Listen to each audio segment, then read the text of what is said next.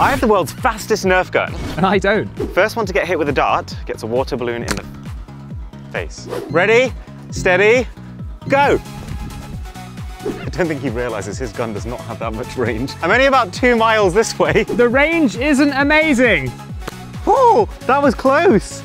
So this, what? So I've got a full mag of 25 bullets, which I can unload in like half a second. But the problem is it's gonna load every single one in one go. Oh no. So if I miss, it is game over. I'm gonna have to rush him.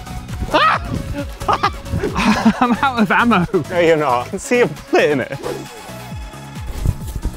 Oh, in the eye. Oh my God. so to answer the question, fastest Nerf gun wins. And it hurts. The water balloon's about to hurt more. Oh dear. You ready, Josh? Always.